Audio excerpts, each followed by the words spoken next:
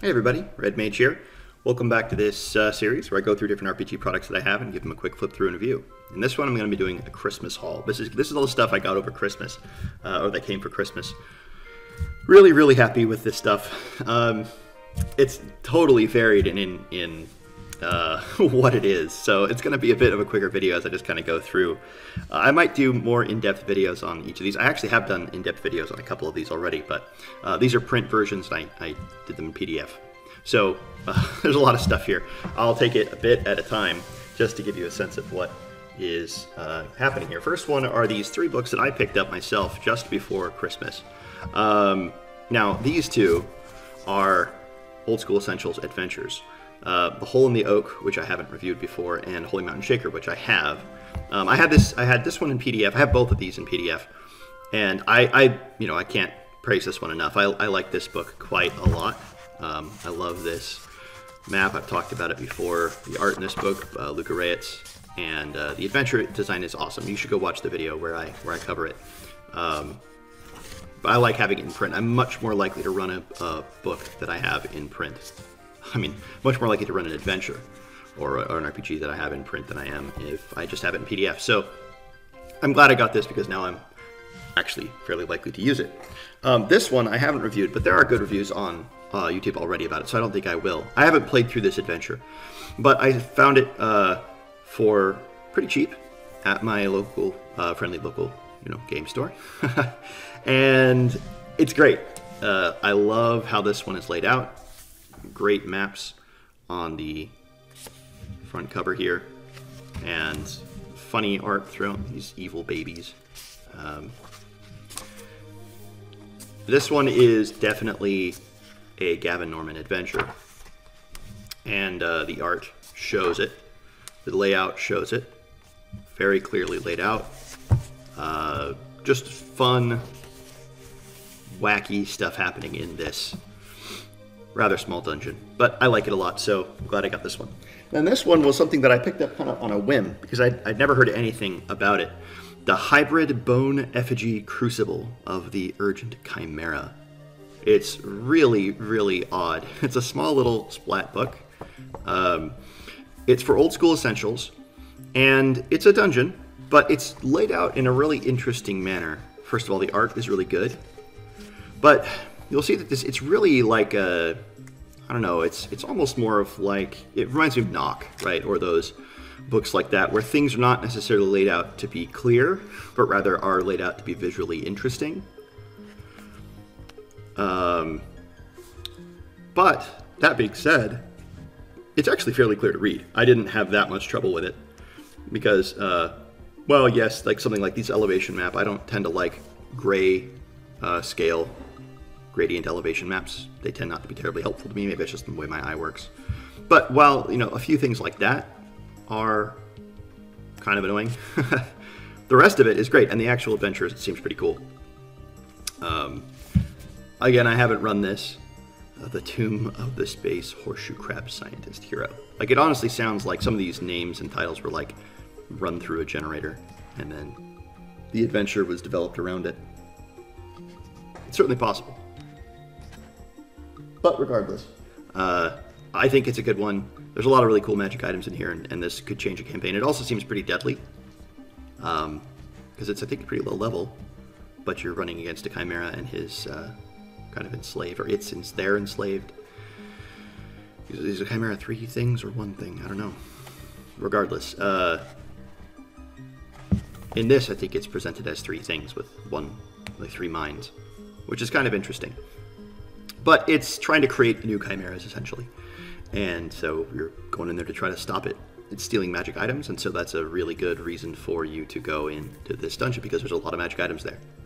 Uh, because it is trying to gather them. So, fun little adventure. I don't know. I, will probably run it at some point, but it just it caught my eye, and I think that was the point of it. and uh, I don't know. Maybe I'll give a more in-depth review of it if I run it at some point. But I'm glad I got this. All right, now the other thing that came over Christmas was the Shadowdark set in, in print copy. These are the, um, this is what I, I kickstarted, so I got quite a lot of stuff here actually. Um, and it's you know, it's fairly large, what came in the box. So first I'll look at the book itself. Now I've already done, again, my deep dive into this, so I'm mostly just going to talk about this actual construction here. It's nice, uh, kind of leatherette cover, um, not really, not real leather. Uh, basilisk skin, as it says, I think. Maybe not, somewhere. But uh, that's what I think MCDM said about theirs. But it's embossed, and I, I, really like the way that it catches the light there. And it's got a nice little thing here. Um, you can see that the, uh, oops, flip the other way. Uh, the spine is not totally flush, and so, but that's fine. What I've noticed is that it's really stiff. The book wants to close, and I feel like if I push it open to the point, uh, I'm going to break something. So that's one one minor issue with the construction is that it doesn't want to lie flat, which makes sense with a kind of book like this, and it doesn't really want to stay open. Um, so you kind of have to press it and force it, and I think that's going to, you know, you can see the way it's bending up at the spine there.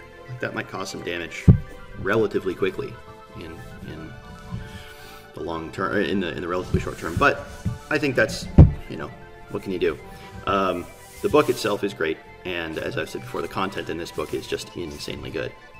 It's not hyperlinked, obviously. can't, can't click the button.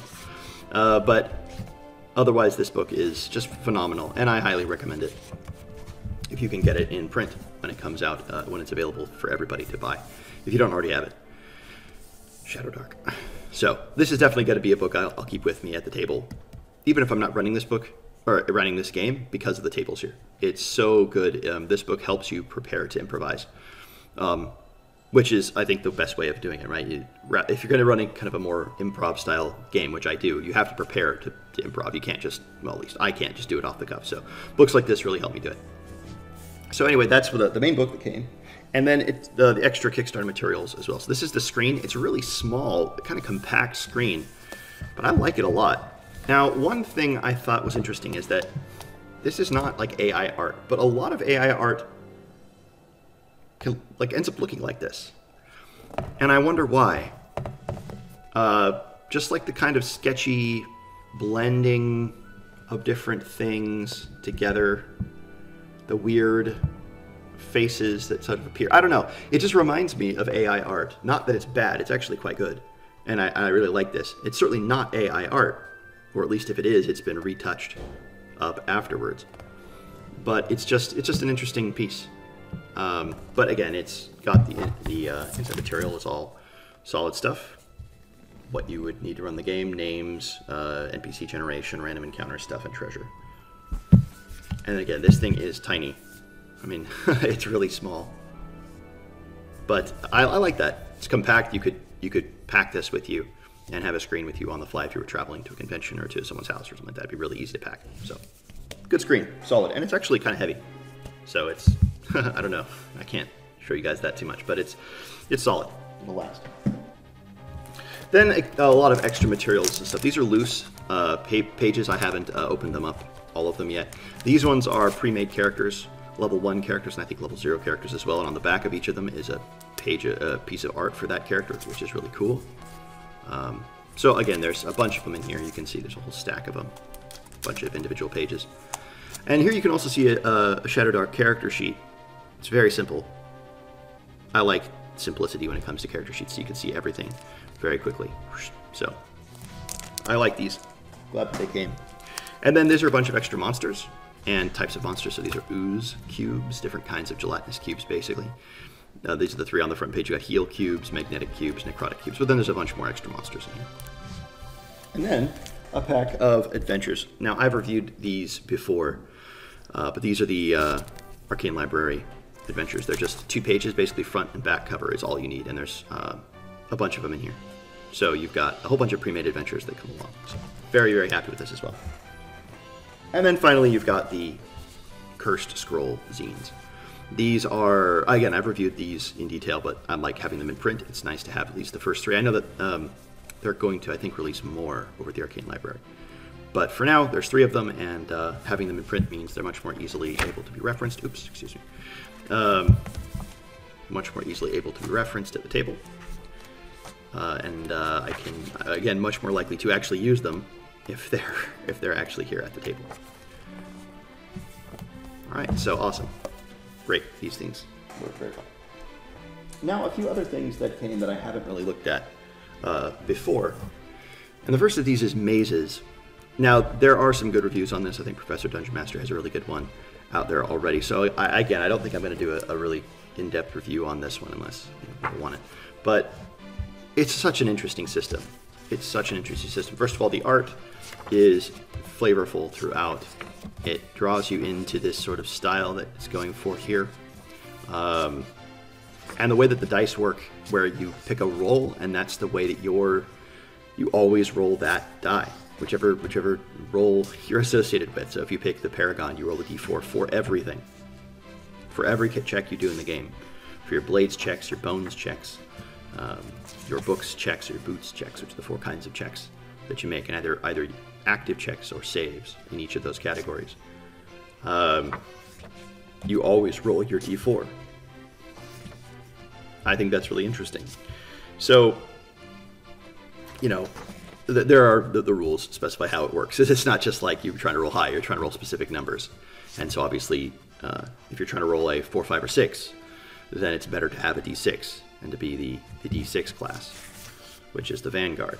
But if you're trying to roll a two, three, or four, then it's better to be the paragon because then you can get, or I guess three or four, uh, then you can roll that 50% of the time. Whereas if you pick the sentinel with the d10, you're not likely to roll the three or the four, or you're less likely to roll the three and the four. But you are very likely to roll the six, seven, eight, nine, ten, or whatever that is required for the uh, the uh, upper end of, of some of these abilities. So really interesting mechanic there. I, I, I, always approve of systems that try something new, right? We've seen the standard D20 roll over or under, you know, a dozen and a half times already. So something that's new, something that's like, hey, we're going to play a different kind of game. Uh, that's cool.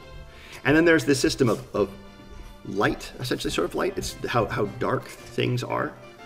And when things aren't dark, then you're more likely to succeed at certain things. So when things, and it's not, I don't, it doesn't refer to like actual the darkness around your character. It refers to the sort of pool of darkness that you have, and it grows or decreases. And when things become more and more bleak, you start to fail at things that you otherwise would have succeeded on. Uh, another interesting mechanic here. Uh, you get aspects to your characters and edges to your characters. But you know, this book is just one of those things I wanted to grab because I don't know. I think it's interesting. It's a neat addition to the hobby. It tries something new. The art is good. There's some good random tables in it. I, am I going to play this a ton? Probably not. But I could see this catching on at a table, especially if you wanted something uh, like I don't know. Something about this just seems like it could easily catch on. Uh, in uh, with at least maybe my players, I could see them finding that base mechanic really interesting, really fun. Uh, and then again, the art in here is really good. I think it's it reminds me of uh, Runehammer, Runehammer style. If you have ICRPG or something like that, it's more sketchy than that, but uh, it's still still really good. Okay, well, again, I, am happy I got this. I haven't finished reading it in detail. Uh, either. I just got this really. But I like the presentation. You hear that matte um, kind of uh, textured cover. Uh, this this actually is a little annoying to me. This little bit of plastic here. It comes off the back, but then it's um, attached to the front, so you can't really take it off. And I guess I could use it as a second bookmark, and you can kind of like mark your page. I like doing something like that right? Um, and that's cool, I guess, but it just kind of flops around and it's a little annoying to me. Um, but oh well, I think it's still fine. There are two bookmarks as well, and the, and the construction of this book is really really excellent. Um, it's got that stitch binding at the top, um, so it lies flat, and although it does kind of pop open, uh, but it does lie flat, so you can kind of push it down and, and read it fairly easily, which I like quite a bit.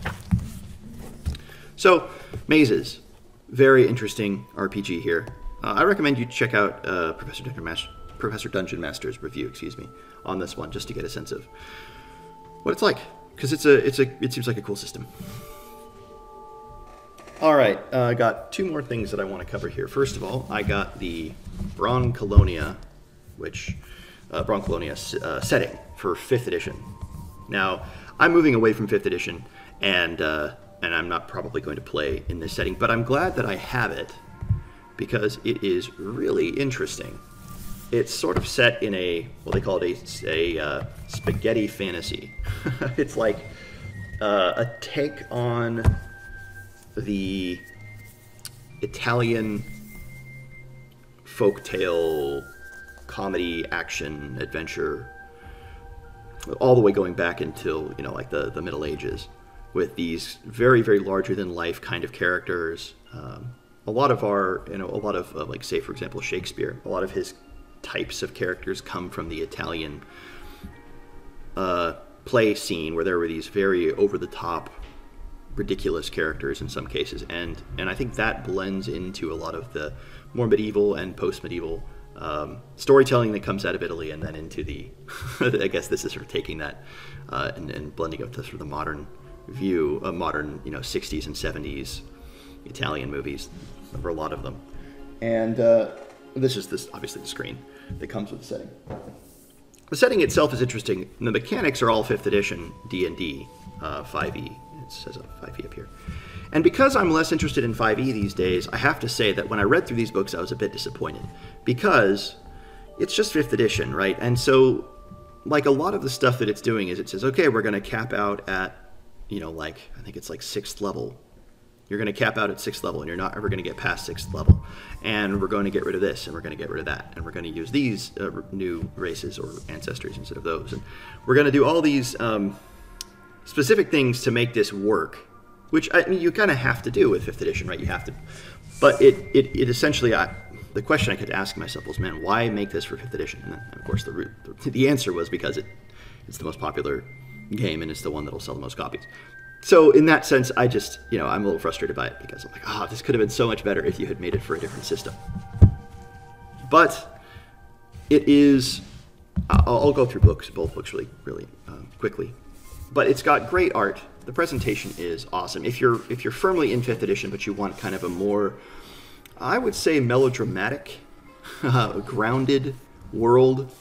So melodramatic in one sense, grounded in another. Melodramatic in the kinds of characters you're going to be dealing with, but grounded in the presentation of the world itself and in the sort of magic you're using and in the, um, and then just the tone.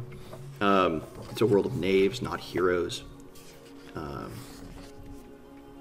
a lot of the art is really excellent. It's the pages are all glossy, so it's going to be kind of reflecting a bit. But the art is really excellent in here.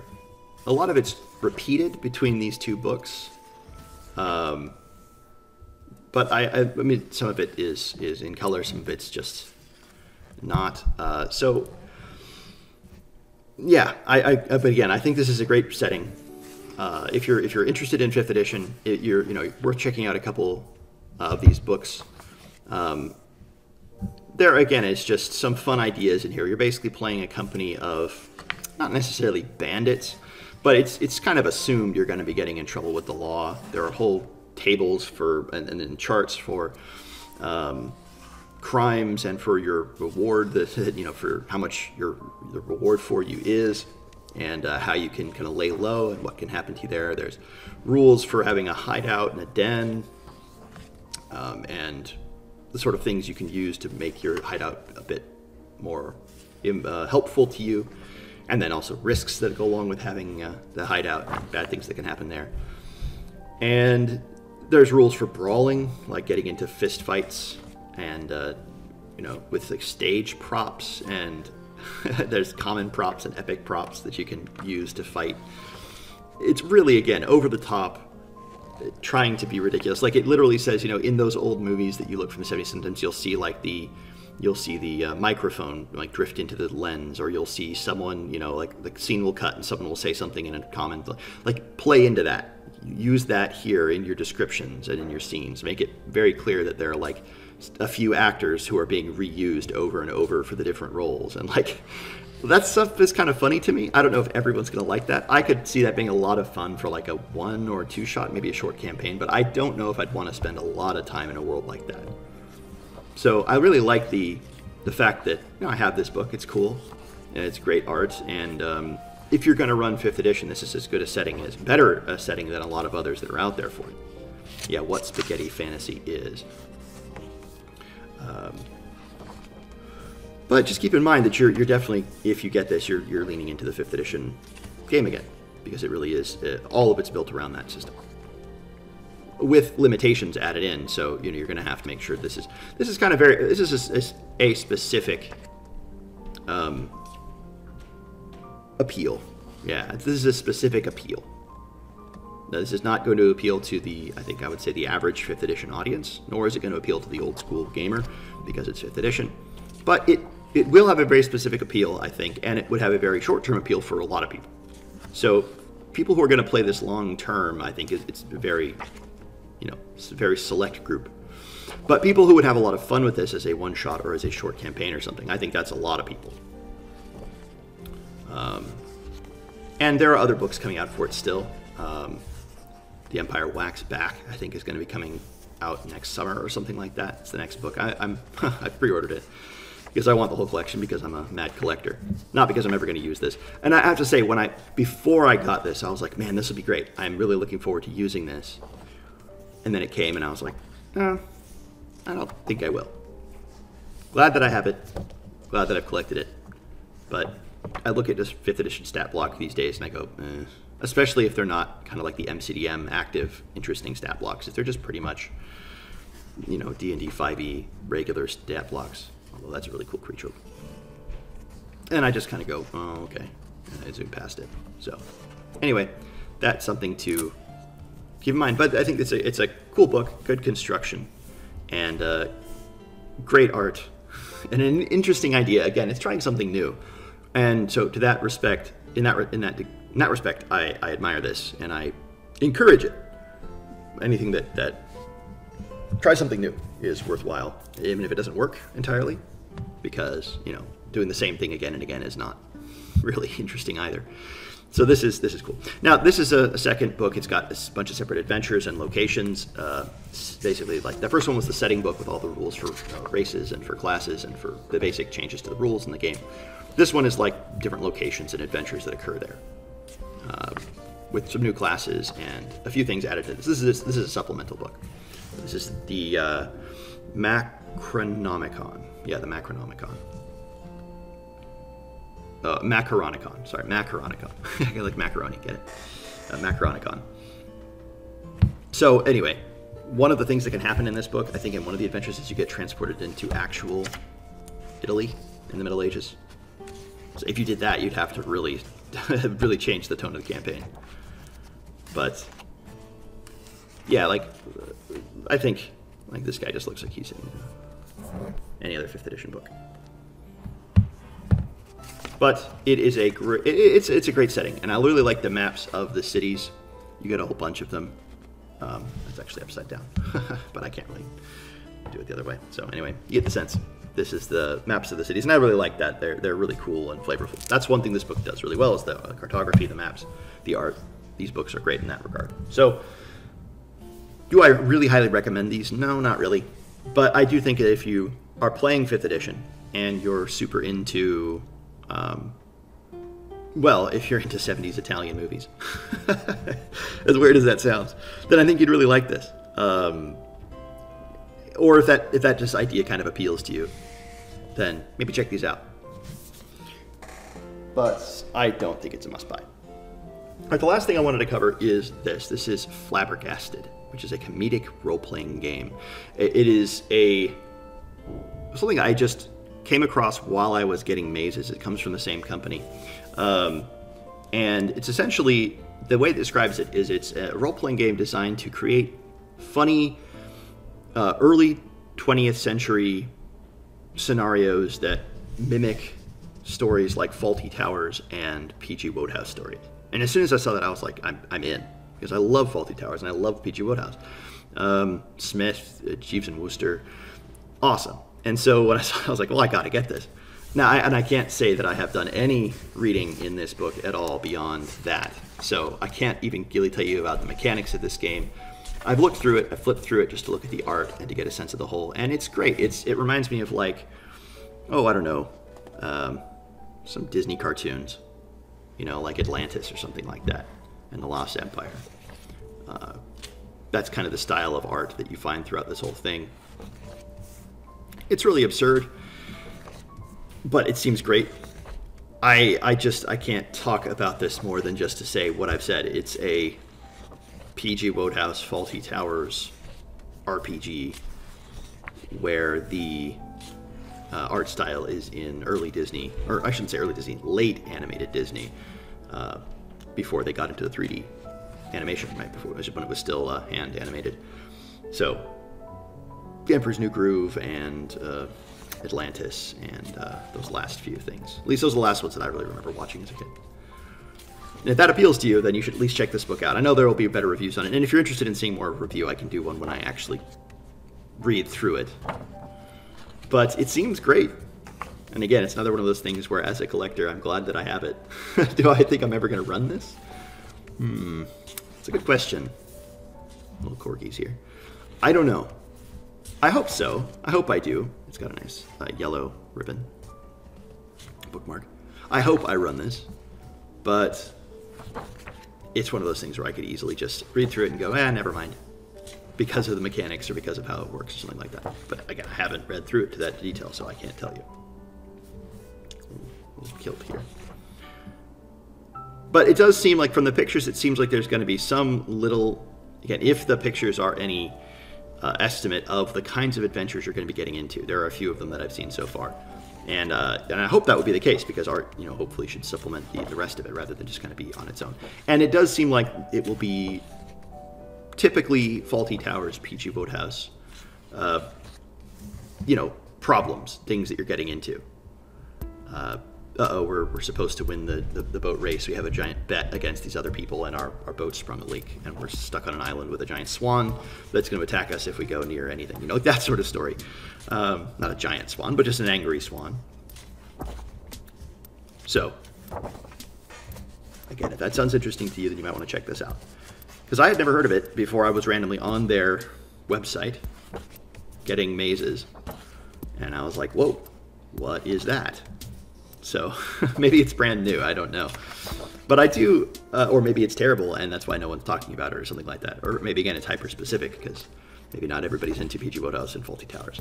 If they're not, they should be because they're great. Bunch of great art here at the end. And that's one thing that I think I just find this book delightful to read. The colors are awesome. The art is great. Um, oh yeah, the classes are really interesting too. You have the uh, you have the bohemian, the uh, aristocrat, the, the staff, the well-to-do, which is great, right? Typically, PG Wodehouse. The staff, you get Jeeves, who's going to be very effective at certain things, and very not effective at others. So, Flabbergasted, a comedic role-playing game, I think is worth checking out if if these things that I've just said appeal to you. All these people hanging from a balloon, hot air balloon up here. Can't really see it, but all right, so that was my Christmas haul. Got all this stuff over Christmas, either um, bought it myself or was sent it. So, um, was gifted it. Really, really appeals to me, most of this stuff. And I'm, again, happy that I have all of it. I hope it's been interesting to you. And I'll see you guys in another video.